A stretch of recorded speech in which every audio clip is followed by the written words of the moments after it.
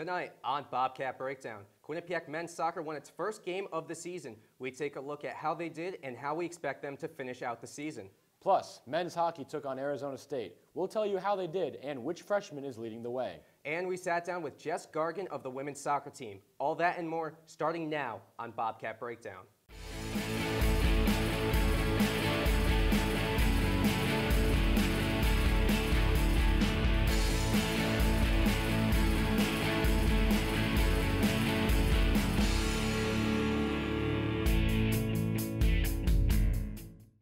Welcome to Bobcat Breakdown. I'm Andrew Weiss, alongside the Michael Jordan, my Scottie Pippen, Rob Ciambra. Thanks, Andrew. The Quinnipiac women's soccer team lost in overtime to Manhattan 1 0 on Wednesday. The loss was the Bobcats' seventh overall loss and fourth in conference play. On Saturday, the Bobcats traveled to Canisius and defeated the Golden Griffins. But Andrew, after a hot start to the season, the Bobcats have lost three of their last five, all in conference play. What do the Bobcats need to do to build off their success from this earlier this season? Well, they need to get back to the basics, and that's something that they worked on earlier this season, something that they showed in non-conference play. There's the surprise of the season. They're doing a lot better than everyone expected them to do.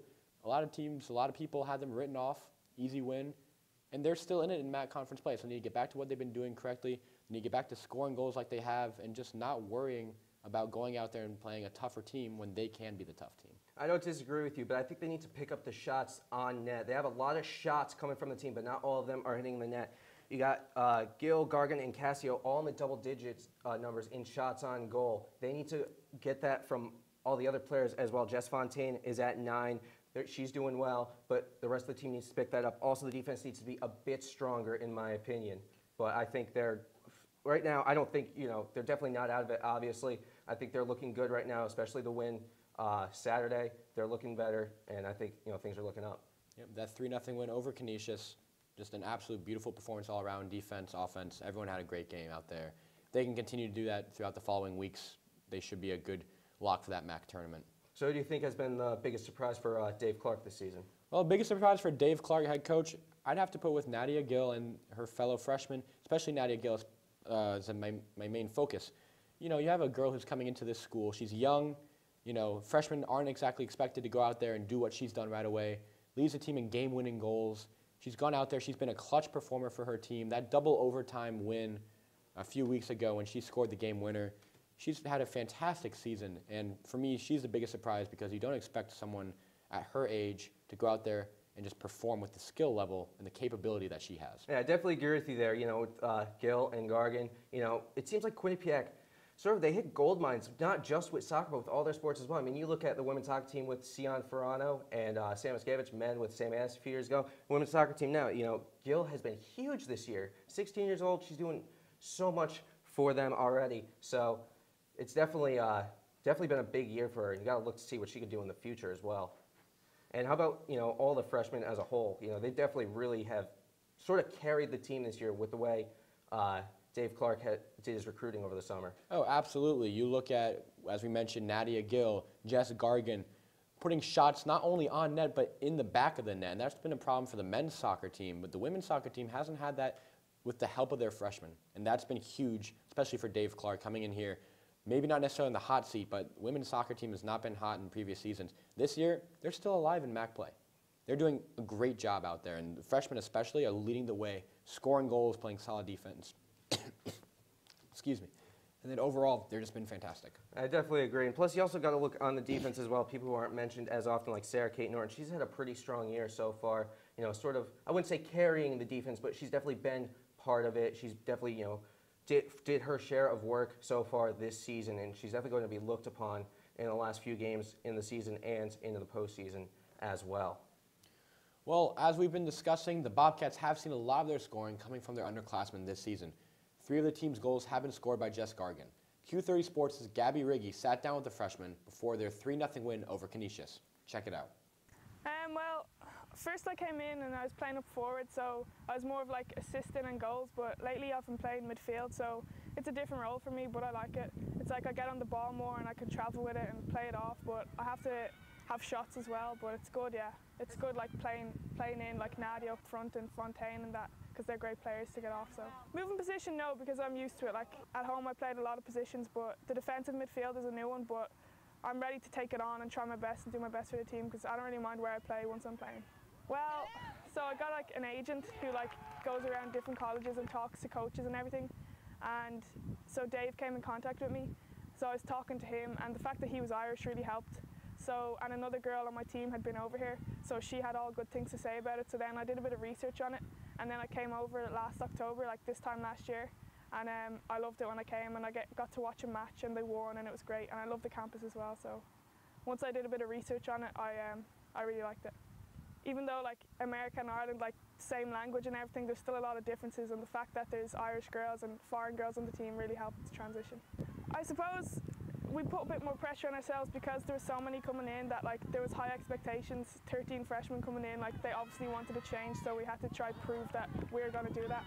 So coming in it was like it was difficult at the start and i'd say it was difficult for the upperclassmen because there were so many new players coming in but they've done a great job in helping us transition and they've been really good to us both on and off the pitch and they're role models to us and they've kept their feet on the ground which is really important because as such a big class they have to make sure that we're all doing the right thing on and off the pitch so they've done a great job of it for this season, we've four games left, which we need to win three if we want to qualify for the MAAC. So that's our main goal, and um, we have to take each game as it come, comes and prepare for it right. So that includes both on and off the pitch. Like we can't just turn up to a match expecting to win.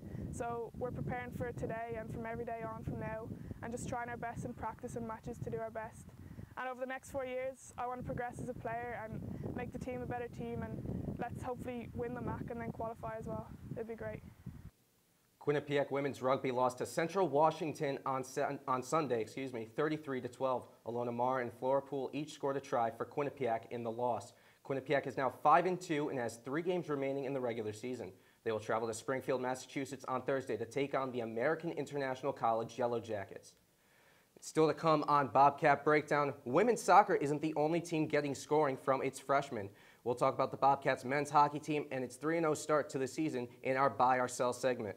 Stay with us. Welcome to A Sheer Sensation, North Haven's premier cosmetology service, located at 140 Washington Avenue, minutes from Hamden. We offer an array of services from basic cuts and colors to lash extensions and formaldehyde-free keratin treatments. We also provide hair chalk and styling for men. When you spend $60, your Q card will get you 10% off. Call us at 203 239 6477 to make your next appointment at a sheer sensation. My name is Doug Thoreau. For nearly 90 years, three generations of my family have been providing the highest quality repair service. Insurance companies will refer car owners to lesser quality shops to save money. At Thoreau Auto Body, we provide the highest quality repairs with a lifetime guarantee to maintain the safety and value of your car. That's the quality you deserve. Thoreau Auto Body, our best work goes unnoticed.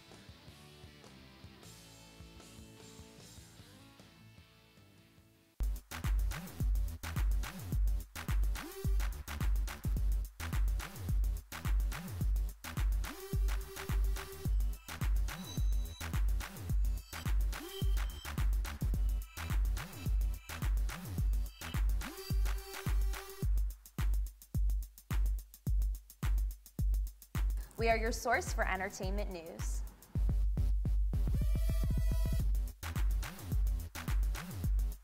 Welcome back to Bobcat Breakdown. The Quinnipiac men's ice hockey team is off to a 3-0 start to the season. The Bobcats shut out the Arizona State Sun Devils on Thursday 5-0, behind two goals and an assist from freshman Thomas Aldworth. After the game, the Texas native talked about the expansion of hockey in areas of the country that aren't traditional hockey markets, saying, quote, It's good to see the game expanding. I experienced it myself when the Dallas Stars won the Stanley Cup in 99. Hockey started booming around and hockey in Arizona will grow because of this Division 1 program. So it's nice to see the game expanding. Usually the guys down south don't get a good reputation for being hockey hotbeds like the places in the Northeast, so I like to see it expand, unquote. We move into our buy or sell segment now. Andrew, with ASU's hockey program being uh, in its first Division 1 season. Do you buy or sell that the Pac 12 will adopt hockey within the next 10 years? I'm buying. I'm going all in and buying this absolutely. Really? Arizona State, you know what? They came out here at Quinnipiac, didn't play their best hockey. They lost 5 nothing. didn't manage a whole lot of shots on goal, made us look like a very good team, which we are. However, Arizona State had a great program in club, moving on up, and there's further, excuse me, there's more club teams in the Pac 12 area, Oregon, Washington, Oregon State, teams like that, that have performed exceptionally well in club hockey that can move up. You only need six teams for a division. The Pac 12 could easily take on these teams and start getting hockey to grow in that area. Yeah, but I think it's going to take a little longer than that. Yes, these are club teams, and yes, they're really good. But I don't see this happening in 10 years. I think it could be closer to 15, maybe even 20. Yeah, you're right. You only need a minimum of six teams, so it could happen. But I still think it's going to take a lot longer than that. These teams still need to develop. These schools need to prepare these programs, get you know actual ice rinks, get them prepared to you know house all their students. You know, it's there's a lot that goes into this process. I mean, we look at ASU; they're sharing ice with the Phoenix Coyotes as well as other rinks. You know, and they're doing a great job making their way around the state. They were in Alaska two weeks ago, and they came this past weekend to Connecticut to face off against Quinnipiac, UConn, and Sacred Heart. Yeah, so but you make that point, but you have to realize that right there is the exact reason why the Pac-12 will grow in 10 years. They travel to Alaska. They come up here to Connecticut. That's a lot of travel for these guys. They don't. The NCAA does not want these guys going a thousand miles every time they want to play a team. 10 years is plenty of time for these teams to get into this uh, into Division One hockey. That's only two years per team if you want to do it by math, because you only need five more for this division. And I think that's an absolute possibility. And you talk about having these ice rinks around the area. Well, I come from a not very strong hockey market in Tampa. They have wonderful ice, uh, ice hockey there, perhaps not the same as up here in the Northeast, but they have plenty of room to grow. And I think that the Pac 12 will come into the area and into D1 hockey sooner than expected. All right, well, how about let's move back to Quinnipiac. How about Thomas Aldworth? Do you buy or sell that he will lead the team in scoring this season? I'm buying it. Absolutely buying it. Really? Yes, I'm buying it. Look at what he's done the last two games.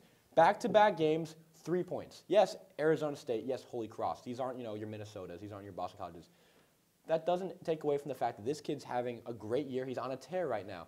You know what? People thought Sam Anas, when he came into the league, when he came into Division One hockey, he was going to be good, but not as great as he was. Led the team in scoring his freshman year. I Yes, think but Thomas by one point over Kellen. Jones. I still think you have Sam Anas, you have Travis St. Denis, you have all these other players who are going to lead this team this year. I'm not. You can't discount the effort that Aldworth has put in and the stats that he's put up so far, but I don't think he's ready for that. You have to see uh, back. I think coming in November 6th and 7th when the Bobcats begin ECAC play. How the rest of the ECAC defends against him because they're going to have a few more non-conference games after that, but the rest of it is going to be the ECAC, and they are tough opponents. ECAC, as we've seen these past few years, is coming to be one of the toughest divisions in college hockey. You know, battling the Hockey East. I think Aldworth has. we- We're going to have to wait and see how Aldworth responds to the defense of the other ECAC teams. Well, I feel as if that most ECAC defensive uh, pairings, top line, are going to go up against Sam Anas. They're going to go up against that top line, Sam Anas, Travis. Denis, guys like that. You know what? Thomas Aldworth right now, still not a lot of game footage on him from Division One hockey. These guys aren't going to go out there and send their top two defensemen up against a freshman that they haven't seen a lot of. Yes, three points back-to-back games. He's already on a hot tear. He's already leading the team in scoring. So is right that now. not enough for these teams to already start preparing to play against him, regardless I don't think of it what is. line he I plays feel on? like Sa- I feel like Sam Anas is still the biggest concern for a lot of teams, and that's what they're going to prepare for. They're going to prepare for him going out there, a lot of shots from him. They're going to go out there and try to just match up defensively with Sam Anas and his line. If Thomas Aldworth moves up, which he probably won't be, considering their different styles of play, then you know maybe that changes. But right now, I feel as if Thomas Aldworth has the advantage of going up against that second defensive pair, has the advantage of going out there, and he's played exceptionally well. Look at one of his goals against uh, Arizona State the other day. I watched him come to the zone. He looked like a natural goal scorer. He looked like he knew what he was doing with the puck. That doesn't discount what Sam Anas has done, Travis St. Denis, all these guys. They're wonderful hockey players. They're going to have a great year. But Thomas Aldworth, I feel as if he's going to lead the team in scoring. Now we're going to move on. Buy or sell. Michael Garteig will be the Bobcats X factor this season. What do you think, Rob? I'm going to sell that. The thing is, I know Garteig, he makes some big saves for the Bobcats, but in the end, you know, we mentioned Aldworth, we mentioned Anas, we mentioned St. Denis. It's going to come more on them. They need to score for the Bobcats win. Garteig's going to have to come up big in some of these games, but in the end, it's going to be on the Bobcats scoring because there's going to be some close games, but it's going to come down to more of the defense and uh, getting the puck out of the zone and scoring, you know, just scoring more goals, keeping the puck out of the zone. Garteig, you know, it's not going to fall as much on him. He's got to be ready, sure, but it's more up to the Bobcat, the you know, the back checking forwards when the puck's down in the defensive zone, even in the neutral zone, to get it back down. Well, I hate to burst your bubble, but I feel like my point's sharp enough to do so.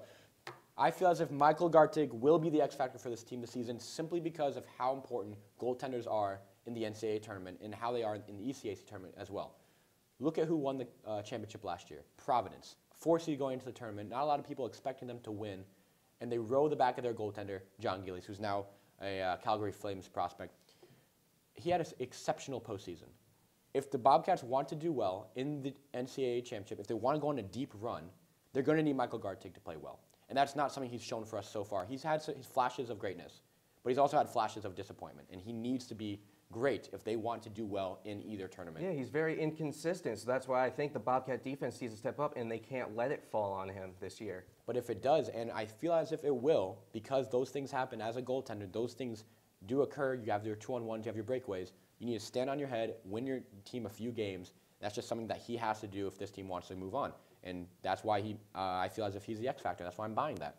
He needs to go out there and perform well if this team wants to have any postseason success.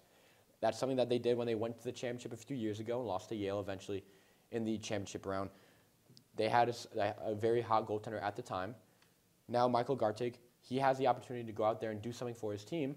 He's had his flashes of greatness that we've talked about, but just not enough to win in postseason Yeah, but to argue that, I mean, Eric Hartzell got on a very hot streak. The Bobcats, when they saw that he got hot, they were really, they sort of sat back and let him make the big saves he needed to make. Sure, they had good offensive defense as well, but the Bobcats, I don't think they can put their full trust in him. They know they need to back check. They can't rely on him and expect him to make every single save. All right, well, let's move on real quickly. The Bobcats will make the NCAA tournament again this year. Do you buy or sell that idea? I buy that. I think this team is good enough to go there. You know, Aldworth definitely has shown us some flash of greatness so far. And then, like I said, Anas, St. Denis, all the other players coming back. Devon Toews, key defenseman. I think the team, because of all their returners and some of the flash of greatness we've seen from the freshmen so far this year, they are going to make the NCAA tournament. Well, for once, I can agree with you. I absolutely buy the fact that they will make the NCAA tournament this year. Right now, currently ranked 19th in the polls. Not a very high number. Only 16 teams end up making it. But this team has a lot to prove. And I absolutely think that they will make the NCAA tournament on the backs of these players, as you mentioned. We'll see if Michael Garteig can step up and do well. But like we mentioned, they have great offensive players. Thomas Aldworth, Sam Anas, Travis St. Denis. They all have that same uh, mindset that they can go out there and perform well and make the postseason. Last year, disappointing loss to North Dakota. It happens. They ran into a very good team. That's just fuel to the fire. These guys can go out there, do something, and get to the NCAA tournament. And I truly believe that they can ha- go on a run in that tournament. All right, we both believe that. How about the Frozen Four? I'll be honest, I'm going to sell for once. I saw the idea of them making the Frozen Four. I can't see it happening unless Michael Garteig goes out there and proves to me that he can be that X factor, be the difference, stand on his head. We talked about the ability of our, of uh, excuse me, of the men's hockey team to score goals. They have very solid defensive core back there, but Michael Garteig is still my X factor, and as of right now, I don't have enough from him to prove that they can go on a deep run with him. They can go on a good run, but a deep run, he hasn't shown it to me yet. Well, coincidentally, we agree once again. I do not see them going to the Frozen Four again. It's, it's still, they have some young players, and like I said, with the ECAC coming this season, yeah, they're going to make the NCAA tournament, but you got all these teams who are watching them. They're going to scout them, and if they run into a hot team like North Dakota again, or even if they get a close regional game where they don't have to travel, but they're going to face a tough Hockey East team, you never know what can happen. I think maybe they make it. Uh, they win the re- or uh, win the first game of the regional bound, see them going past that regional championship game. Coming up after the break, field hockey and men's soccer are in the home stretch of their season. We'll discuss how we think they'll do. Plus, our games to watch for and our step up and sit down picks of the week. We'll be right back. Welcome to A Sheer Sensation, North Haven's premier cosmetology service, located at 140 Washington Avenue, minutes from Hamden. We offer an array of services from basic cuts and colors to lash extensions and formaldehyde free keratin treatments. We also provide hair chalk and styling for men. When you spend $60, your Q card will get you 10% off. Call us at 203 239 6477 to make your next appointment at a sheer sensation. My name is Doug Thoreau. For nearly 90 years, three generations of my family have been providing the highest quality repair service. Insurance companies will refer car owners to lesser quality shops to save money. At Thoreau Auto Body, we provide the highest quality repairs with a lifetime guarantee to maintain the safety and value of your car. That's the quality you deserve. Thoreau Auto Body, our best work goes unnoticed.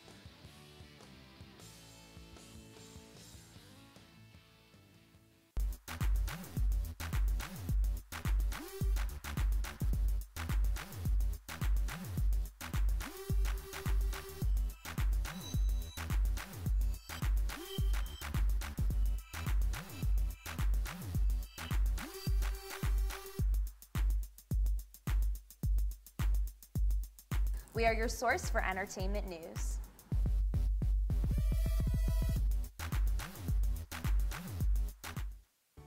To Joya Spa and Salon in Hamden. Whether you want a new look or the perfect wedding day hair, come to us for complete hair and nail care, cuts, styles, updos, extensions, and beautiful dimensional hair color, as well as manis and pedis, acrylics, gels, and shellac. Treat yourself to a facial, a peel, or microdermabrasion. Relax with a variety of massage techniques, including Swedish and hot stone massage. Joya Spa and Salon. Call today Welcome back to Bobcat Breakdown. Quinnipiac men's soccer won its first game of the season on Wednesday, defeating MAAC opponent Manhattan 2 0. The Bobcats lost to Canisius on Saturday 1 0. The Bobcats now have a MAAC record of 1 3 2. Every team this year will be in the MAAC tournament held at the Wide World of Sports complex at Disney World. Rob, even though the Bobcats have struggled this year, can the Bobcats be successful in the MAAC tournament despite their play so far? I thought after the win maybe, but after the loss to Canisius, I'm not convinced, Andrew. That they played the worst team in the MAAC in Canisius, and they lost, and they couldn't even get a goal on them. I'm not convinced. I think they're going to be have an early exit in the MAAC tournament.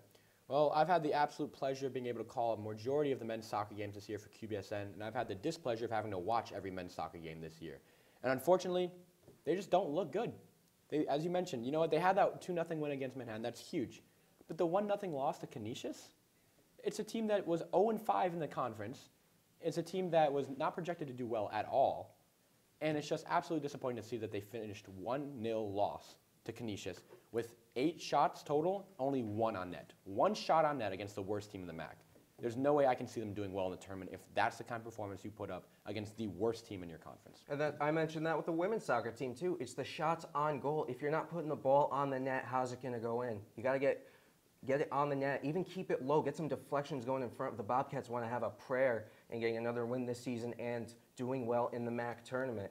It's just, you know, like you said, one shot on goal out of eight total shots in the game. It's not going to cut it. It's been a struggle for them this season.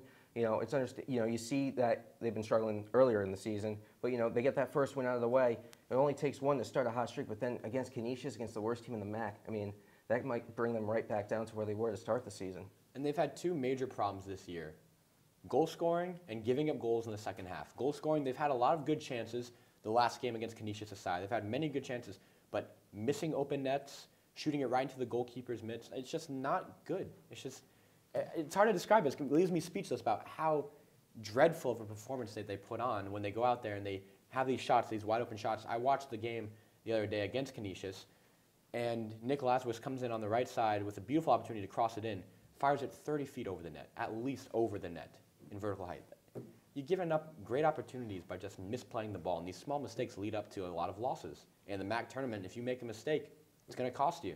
The second major thing for me, Tristan Henry, and a very aggressive goaltender. At times it works out for him.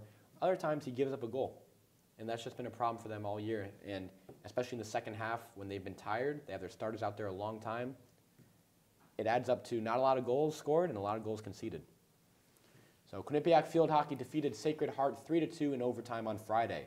On Sunday, they defeated Siena 4-2. They have a 3-0 conference record, and their final four games are against MAAC opponents. Will the Bobcats finish at the top of the MAAC? Yeah, definitely. I will put a lot of money on that if possible because honestly, their tough non-conference schedule that Coach Beckham scheduled for them was a huge help. They didn't do too well in those games, but that trained them for the MAAC, those tough opponents, and it was certainly a great call by Coach uh, Coach Beckham, excuse me. You know, I think the Bobcats were ready for conference play, and you look at the way they've been playing right now. They are definitely going to finish at the top of the MAAC. I have no doubt in my mind, and they're going to do well in the MAAC tournament. Once again, we can agree on something. To me, this team they looked very inconsistent in the non-conference schedule. Back and forth, wins, losses. They had positives in their wins and negatives in their losses that just didn't seem to go together. Their conference play so far, however, has completely changed my vision on this. Megan Conboy's been an absolute stud in net for the uh, women's field hockey team. And then, of course, you have Angie King, who's been an absolute legend. For I mean, we're watching a legend for Quinnipiac, probably the best player in field hockey history at this school. Just go in, play, and do a fantastic job. And overall, just those two leading the team, along with the seniors that's been there for a while, I can't see how they don't finish on top of the MAAC. Yeah, you're right. I mean, Angie King, she just doesn't seem to stop. She's been the lead, basically the leader for this team. The way with all the records she's been breaking, her play this season, she, you could just tell she has that leadership mentality when she plays, and definitely a reason why the field hockey team is doing so well, and you know why, like I said, we both think they're going to finish at the top of the MAC. Yeah, and as you mentioned, Angie King breaking records. Well, she's done a great job of that so far, especially look at her defensive saves. If you look online, NCAA stat leaders, Angie King defensive saves, more than double the next highest uh, woman. She's just fantastic. She's doing a great job on the back end for the field hockey team. And then Megan Conboy's been even better in net. And when you have solid defense like that, it's hard to score on them. It's hard to lose games. All right. Well, looking ahead to next week, let's move on to our games to watch for. What is your game to watch for? My game to watch for women's soccer traveling to Iona on Saturday, the 24th. It's going to be a big game for them. You know, Iona, not necessarily a great team in MAAC conference, but these are games that the women's team needs to win if they want to move on and go into the MAAC tournament. Currently seventh place in the MAAC, and they need to be in the top six to move on to the tournament. That's just a huge game, and they really need to win these games that are must wins if they want to move on and get into the tournament. And that's my game of the week to watch. For me, it's men's hockey. They're we- they got two games at home this weekend against St. Cloud. They haven't they played them last year at St. Cloud over winter break. They lost the first game three to two and won game two four to one. Then they faced them again in the Frozen Four in 2013. Also a four to one win for the Bobcats. This is going to be a very interesting matchup. St. Cloud currently number 12 in the polls. Bobcats number 17. I think it's going to be a great non-conference matchup. Great scheduling uh, made by the coaching staffs of both teams. It's definitely going to test the Bobcats this weekend before they begin conference play uh, the first weekend of November. I'm looking forward to those games. Rob, it's time to move on to our step up and sit down segment. And Rob, it's tough to pick sit down players after a successful week for Quinnipiac Athletics. The only stain on this week's schedule was the men's soccer loss to Canisius yesterday. But let's start with step up players. Rob, who's your pick? I'm going to say Devon Toews the men's hockey team. He's had a hot start to the season, and then the ASU game, he had a goal and an assist. He's looking good, definitely taking leadership, showing why he's deserving of being an NHL draft pick. He has been a key player for the Bobcats in his years here so far, and he's just continuing it this season. How about you? Well, my step up player is going to be the eventual point uh, leader for the men's hockey team, Thomas Aldworth. A fantastic week for him against ASU. He finished with three points. Overall, he's just been an absolute stud for the men's hockey team. I'm looking forward to watching him in future games. He's been my step up player. And uh, what about your sit down player, Rob? When I sit down, I don't have a sit down player. I have a sit down team, and that's the women's ice hockey team. They tied Western, the Western Mustangs, one to one on Saturday, an exhibition game against Canadian College. They outskated this team for almost the entire game, Andrew, and it's disappointing to see them come away with a tie. It doesn't matter that it's an exhibition game. They they outshot them 46 to nine, and they still only put up one goal. Megan Turner, you know, being alert and getting the you know, getting a loose puck and putting it in. The Bobcats, they were like I said, they were skating all over them. That second line of Wood, Cianfarano, and Samoskevich, they should have had four goals that day. Uh, it was an absolute disappointment to see that. My sit down, well, I can't pick one player in particular, so I ended up picking the men's soccer forwards. The 1 0 loss to Canisius, only one shot on net on eight total shots. Just overall missing chances, missing everything, and just not looking good doing it. Well, that's all the time we have for this week's show. Be sure to check out Q30television.com and theqbsn.com for more coverage on Quinnipiac athletics. Make sure to follow us on Twitter and Facebook at Q30 Sports and at QBSN. And be sure to tune in to QBSN's broadcast this week. All links will be tweeted out. And don't forget to check out the latest edition of QBSN the magazine. Pick up a hard copy around campus or read it online at theqbsn.com. For the crew behind the scenes and the man sitting next to me, Andrew Weiss, I'm Rob Ciambra. Thanks for watching.